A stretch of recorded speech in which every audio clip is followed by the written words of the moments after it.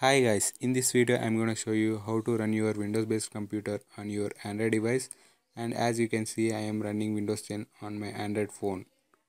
And it's not a theme or video running in the background is completely interactable version.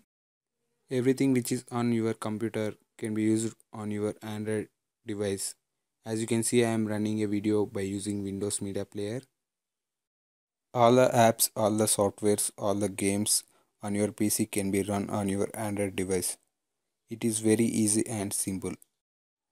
First of all, you need to download the Splashtop app from Google Play Store.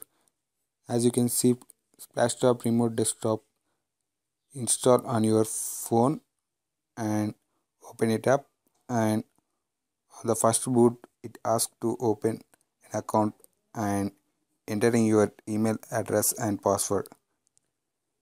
I have already opened an account and after login is done let head over to your computer side and we'll be installing this splashtop go to splashtop.com you can see right side orange button click on that and downloading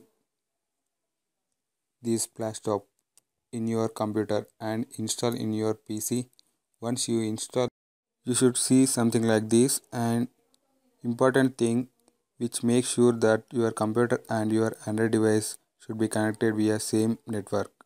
And go to your phone. There you can see your computer name. Click on that. And your windows is running on your android device.